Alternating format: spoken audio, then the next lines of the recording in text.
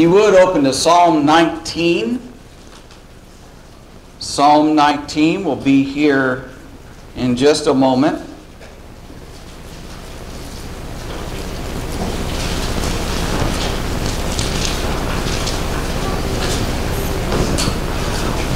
We are continuing in a series of lessons that we began last week on rock solid faith.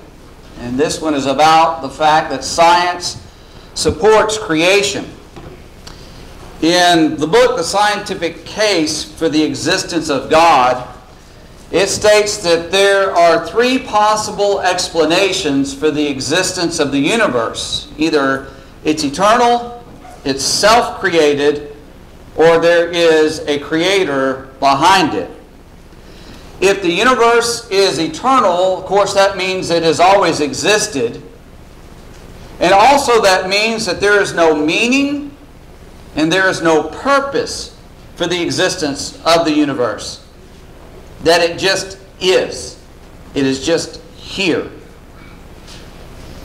And with that concept in mind, it means that we are able to escape any responsibility and any accountability because we just are. We are just here as a part of this eternal universe. The second one, the idea of being a self created universe, that is, it created itself out of nothing, again, you get the point of it is meaningless and it is purposeless. It is here by accident. It just happened. Somehow, some way, just poof, it came into existence. Again, that concept allows us to escape any responsibility or any accountability, and we can live however we want to live. The third possibility is the idea that the universe was created by someone, by something, if you will. And with that in mind, the universe has meaning, it has purpose, that there is a reason that has been brought into being and that it is heading toward an end. It is going somewhere for some reason. And this means we have responsibility and we have accountability. So you can see how the first two possibilities of it being eternal and it being self created appeals to some people because if that's the case, they can do whatever they want to do in their life. Whereas the latter possibility, the third one, of there's a creator coming with responsibility and accountability, people want to avoid that sometimes. And what we want to do is study the Word of God and see what does the Word of God have to say about the existence of the universe. And we want to begin just simply by looking at this idea in Psalm 19 that the universe itself speaks to the existence of God. So Psalm 19 verse 1 it says the heavens declare the glory of God and the firmament shows his handiwork. Day unto day utter speech, and night unto night reveals knowledge. There is no speech nor language where their voice is not heard. Their line has gone out through all the earth, and their words to the end of the world. In them he has set a tabernacle for the sun, which is like a bridegroom coming out of his chamber, and rejoices like a strong man to run its race. Its rising is from one end of heaven, and its circuit to the other end, and there is nothing hidden from its heat. So the psalmist says, You look up into the universe and you will see the handiwork of God. You'll see it like an architect or a builder who has designed and built a building. You'll see that handiwork. You'll see the magnificence of that individual. You see the intelligence. You see the creativity. In the book of Romans, chapter 1, Romans chapter 1, the Apostle Paul echoes this sentiment when he's talking about the fact that the universe screams that God exists. In Romans 1, verse 20, for since the creation of the world, his invisible attributes are clearly seen, being understood by the things that are made, even his eternal power and Godhead, so that they are without excuse. So when we observe this universe, when we look at the sun and the moon and the stars, when we see the world around us, there is no excuse for us to say there is no God. Because it is overwhelmingly and abundantly evident that there is a God, there is a creator, there is someone who has put these things in place that there is no way it could simply be by accident. The universe itself declares the existence of God. In this lesson on rock solid faith, we want to notice two particular points. First of all, that the Bible declares the universe was created. And secondly, that scientific evidence, true science, supports the idea of creation and points to creation. The first thing we want to notice when we think about the Bible declares the universe was created is it tells us that God made all these things. The universe declares the existence of God and that God created this world. If you look at Genesis chapter 1, Genesis 1, though, we won't read the entire chapter, but just let's, let's notice a few verses as we go through here. Genesis 1, verse 1 In the beginning, God created the heavens and the earth. So it's very interesting that the Bible really never sets out to prove the existence of God. The Bible approaches that issue just simply declaring God. In the beginning, God. He's there. It's a given fact that God exists. And it says that He created the heavens and the earth, the material universe that is around us. In verse 3, it says, Then God said, Let there be light, and there was light. In verse 6, it talks about Him creating the atmosphere. Verses 9 through 12, it talks about God creating the seas and the dry lands and the plants. In verses 14 to 16, read this with me Genesis 1, verse 14. Then God said, Let there be lights in the firmament of the heavens to divide the day from the night. And let them be for signs and seasons and for days and years, and let them be for lights in the firmament of the heavens to give light on the earth. And it was so. Then God made two great lights, the greater light to rule the day, and the lesser light to rule the night. He also made the stars. So God created the galaxies and the solar systems and the planets, all the stars that are out there. God made those things and put them in place. Verses 20 and 21 tells us that He made fish and He made birds, flying animals. Then it talks about in verse 24 and 25 that he made the animals, the beasts of the earth, the things that creep upon the face of the earth, the cattle, and all those things. In verses 26 and 27, it tells us about the crowning achievement of God's creation, where it says, Then God said, Let us make man in our image, according to our likeness. Let them have dominion over the fish of the sea, over the birds of the air, and over the cattle, over all the earth, and over every creeping thing that creeps on the earth. So God made all these things. Now, I don't know if you caught it in the few verses we read, but in each one of these things, it says, Then God said. It's very specific to attribute this creative activity, this power, this miracle that is taking place to God, to the Almighty, because, of course, He is the Creator. We also want to understand the Bible declares that the universe was created in six days. Six 24 hour days of night, of darkness, and of day, of light. In Genesis 1:31 it says then God saw everything that he had made and indeed it was very good so the evening and the morning were the sixth day. So everything from the heavens and the earth and the light at the beginning on day 1 down through man happened within a six day period. In Exodus chapter 20, Exodus 20, verse 11, when God is speaking from Sinai to the children of Israel and he's talking about keeping the Sabbath, he explains part of what's behind that command to keep the Sabbath in Exodus 20, verse 11. For in six days the Lord made the heavens and the earth, the sea, and all that is in them, and rested the seventh day. And that's why he is telling them to rest on the Sabbath day, the seventh day of the week. He repeats that same thing over in Exodus chapter 31 and verse 17 when he's reminding Moses and the children of Israel about the covenant that he has made. And he says in Exodus 31 17, It is a sign between you, uh, between me and the children of Israel forever, for in six days the Lord made the heavens and the earth. In six days. It's repeated. It's almost as though the Holy Spirit is specifically nailing down the fact that all things in this universe were created within a six day period. If you go to Mark chapter 10, Mark chapter 10, we have a record of the Lord as he, in the context, is talking about marriage.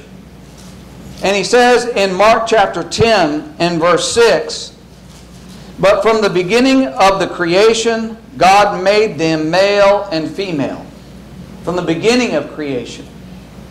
Now, those who would espouse this idea that creation took place over millions of years, that statement by the Lord does not make sense.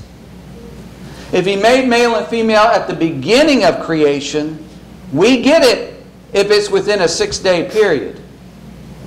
But if it's within millions of years, what the Lord said here does not make any sense. So the Bible declares to us that the heavens, the earth, all things in them were made within six days. The Bible declares that the universe was indeed created. But on the other side of this, you have atheists who say that there's another explanation, or maybe no explanation at all, as to why the universe exists. And I'm going to read some quotes here from various sources, and I apologize for the fact that we have to read through these things, but this is their view of the universe and why it is here. This quote comes from the Georgia State University website as it quotes Bertrand Russell, a famous atheistic philosopher. And this is what he said, and listen carefully to this that man is the product of causes which had no prevision of the end they were achieving. That his origin, his growth, his hopes and fears, his loves and his beliefs are but the outcome of accidental collocations of atoms. That no fire, no heroism, no intensity of thought and feeling can preserve an individual life beyond the grave that all the labors of the ages, all the devotion, all the inspiration, all the noonday brightness of human genius are destined to extinction in the vast death of the solar system, and that the whole temple of man's achievement must inevitably be buried beneath the debris of a universe in ruins. All these things, if not quite beyond dispute, are yet so nearly certain that no philosophy which rejects them can hope to stand only within the scaffolding of these truths, only on the firm foundation of unyielding despair can the soul's salvation henceforth be safely built. I don't know about you, but if somebody comes to me and says, Look, the only way your soul is going to be delivered from the guilt, the torment, the difficulty, the struggle that you face is on the firm foundation of unyielding despair, I wouldn't listen to another thing they ever said. You see how dark and gloomy that is? But that's because he doesn't believe in God. That's because he doesn't believe there's anything beyond the grave. That's because he believes all that is is what you see and hear now. And you're dead and you're gone. There's another quote we have from Dr. Robert Jastrow is quoted in the case for the existence of God. And he said, Only as a result of the most recent discoveries can we say with fair degree of confidence that the world has not existed forever, that it began abruptly without apparent cause in a blinding event that defies scientific explanation. Now, that last part I agree with. It defies scientific explanation. Because it's a miracle. That's the definition of a miracle. You cannot test that by scientific means. But he believes that it began abruptly and without apparent cause. You know, the cause is staring him in the face. The cause is right there. If they will just humble themselves and accept it. But that is his explanation. The idea, of course, is that life is the result of evolution. That the universe is billions of years old and that they accept those things as scientific facts. But remember, when they talk about evolution, it's the theory of evolution. Not the fact of evolution, not the law of evolution. No honest scientist will ever say that. But it's the theory of evolution. The reason it's a theory, because they can't connect the dots. They can't prove it, they can't test it, it cannot be done. So it's a theory of evolution.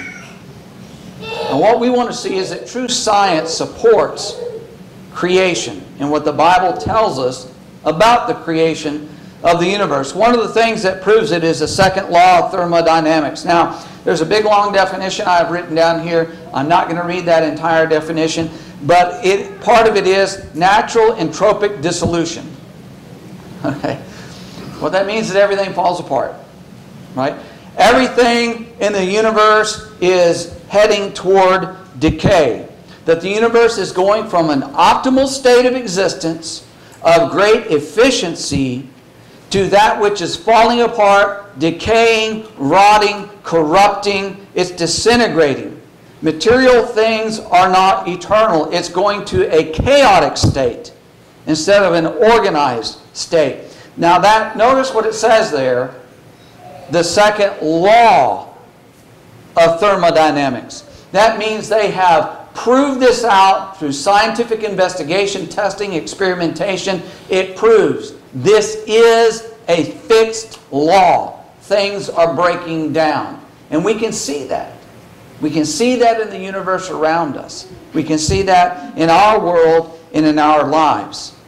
Evolution says everything's advancing. It's improving, right? Because think about what evolution says. It says there was a single little blob of cells out there that multiplied and became, I don't know, a fish, whatever, you know, along the way. And the fish became the frog, and the frog became this, and, and this became that. And you get the monkey, then you get the person, right? So they're saying it's improving. It's getting more intelligent, more efficient. It's getting better. Well, the second law of thermodynamics completely contradicts that. Everything is breaking down. Everything is running out, if you will. And the Psalms back this up. Think about this. David wrote the Psalms, and the Psalms were recorded about a thousand years before Christ came into the world.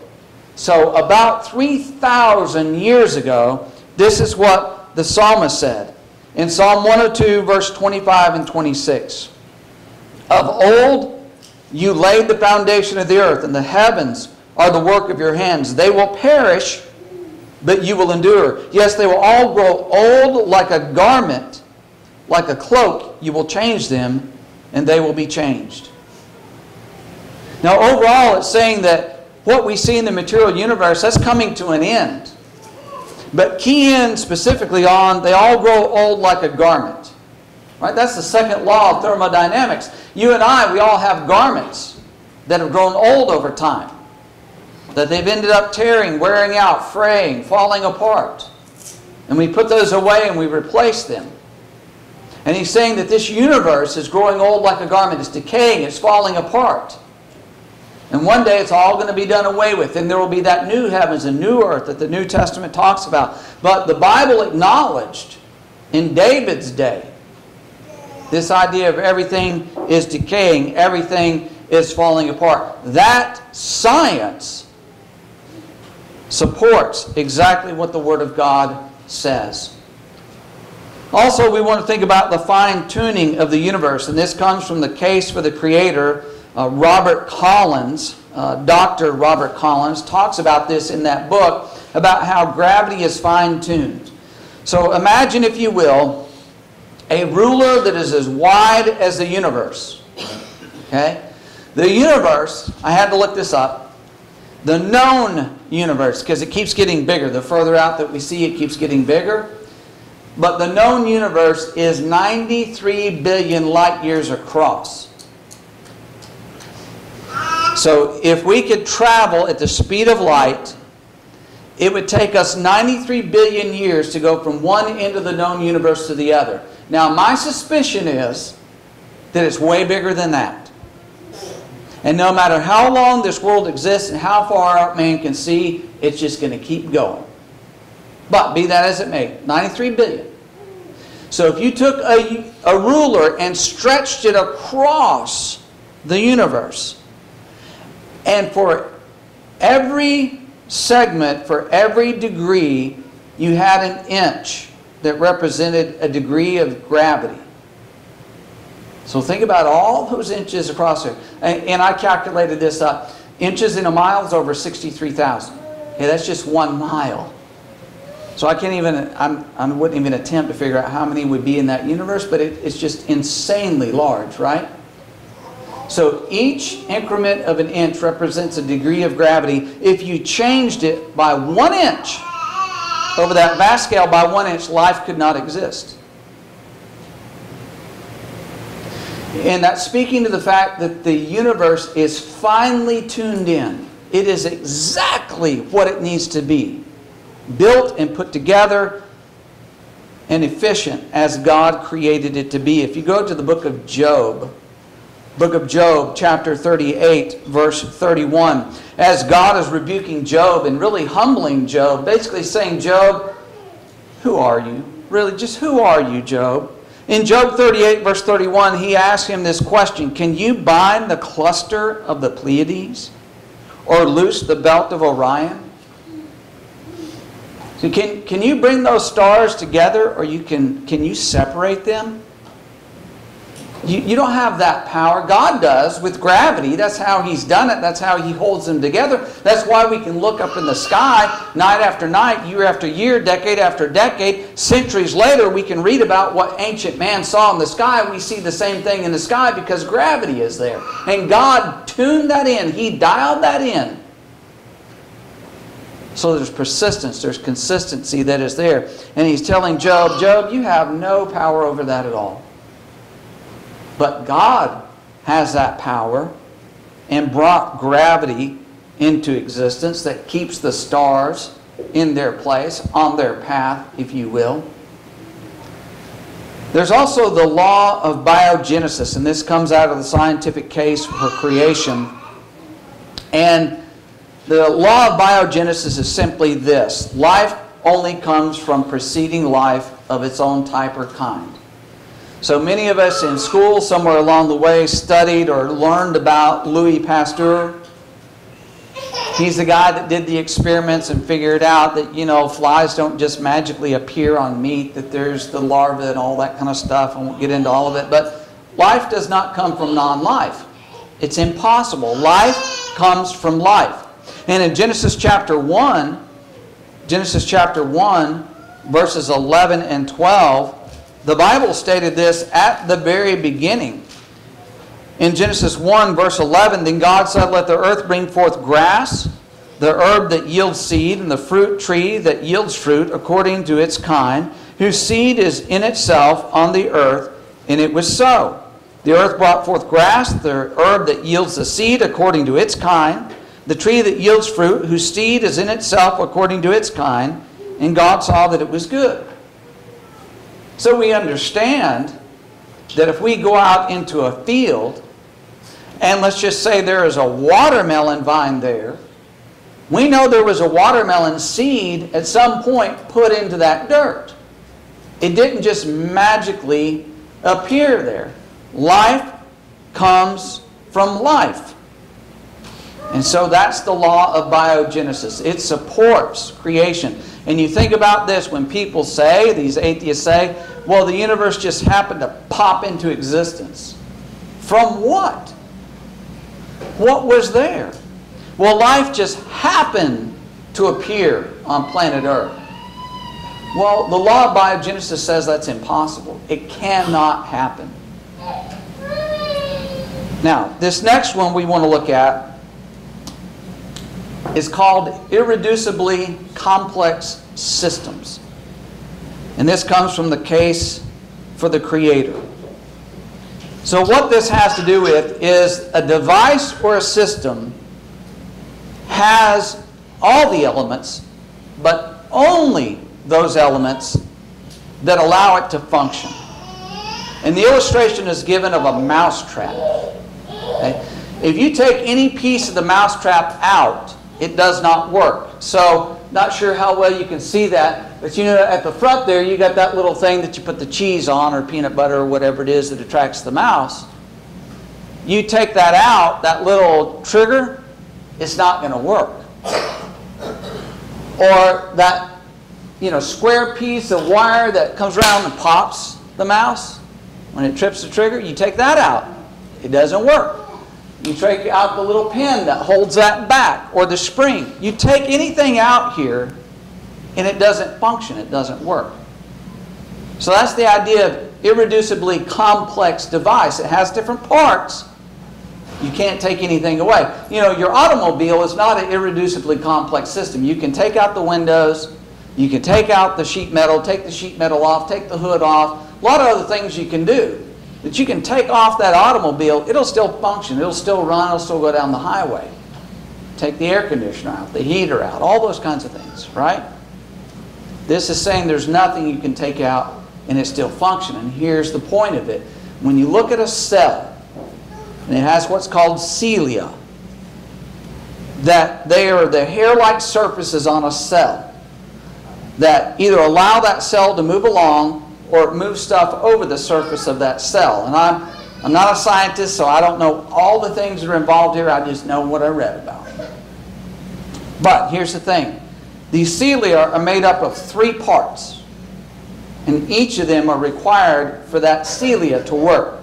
They're made up of rods, of linkers, and motors. You take any one of them out, the cell will not function.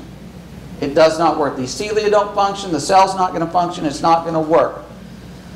Now, it was given an illustration saying that there are 10,000 proteins in a cell, and you need three of those to come together in the right way at the right place.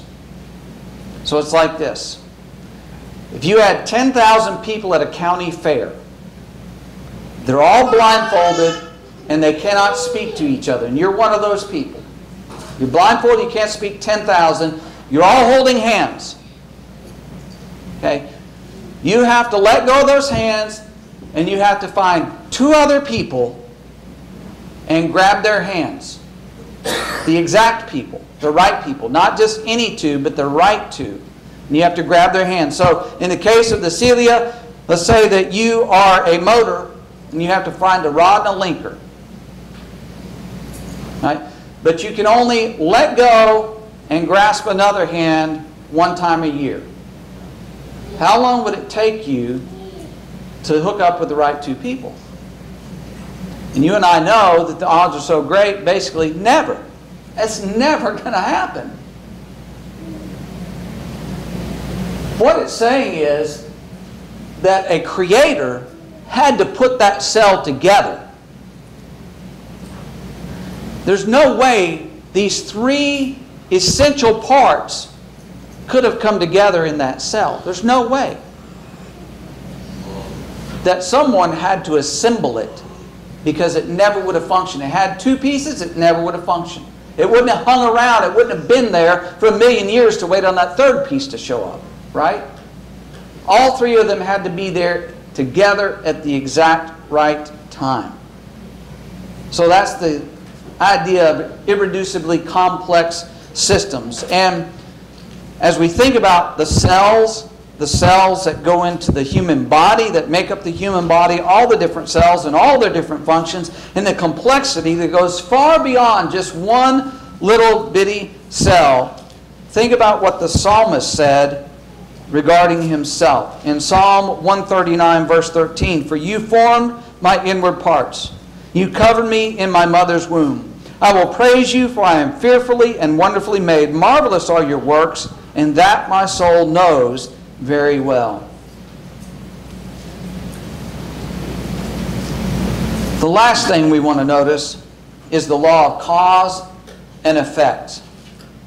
And that simply is the idea that there must be some cause that is greater than and superior to the universe itself that brought the universe into existence. Again, I'm going to quote from Dr. Robert Jastrow. He's a atheist, quoted in the Scientific Case for Creation, and he says this.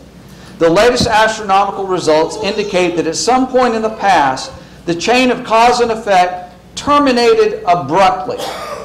So an atheist looks and says, okay, we follow and we trace the universe back and all these different things that we're looking at, and cause and effect, cause and effect, cause and effect, and boom, it just stops all of a sudden. An important event occurred, the origin of the world for which there is no known cause or explanation. Now, there is a known cause and explanation. He's just not accepting it. This law of cause and effect is why we come out of a store and we don't expect an elephant in our car. Right? There's, it's just not going to happen.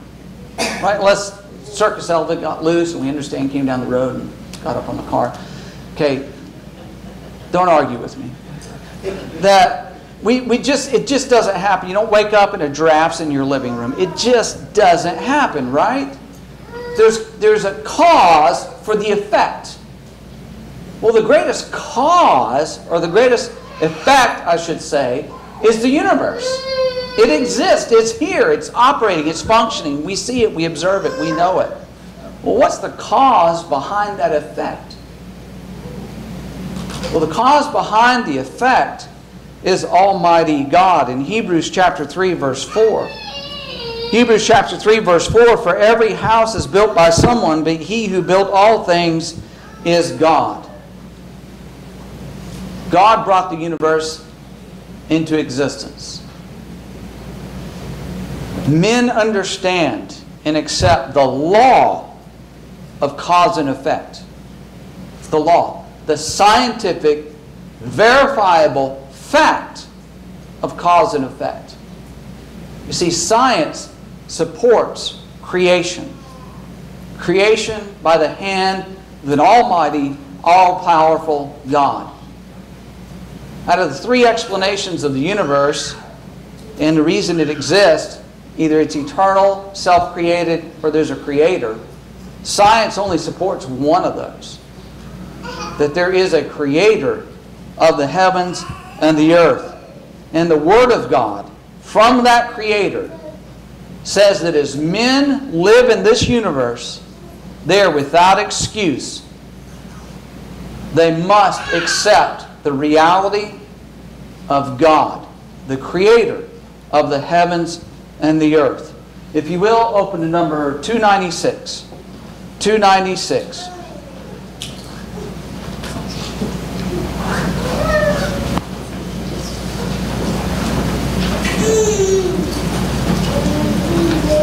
So, have you accepted the reality of a creator? If you follow the science that's been popularized this past year, you follow the science, you have to believe that there is a God. That God is revealed in the Bible. His will is expressed to us in His Word. It tells us that He loves us. Even though we have rebelled against Him, we have sinned against Him, we have separated ourselves from Him by following our own selfish desires. And it tells us that He had a plan to remedy that. He had a plan to redeem us from our sins, to have those sins forgiven through His Son. It tells us He sent His Son to die on the cross.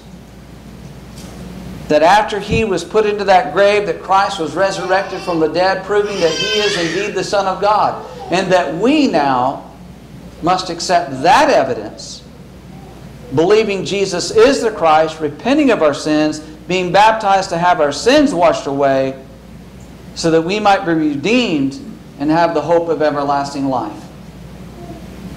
If you accept that evidence, you accept that truth, then won't you come and confess Jesus as the Christ and be baptized to have your sins washed away?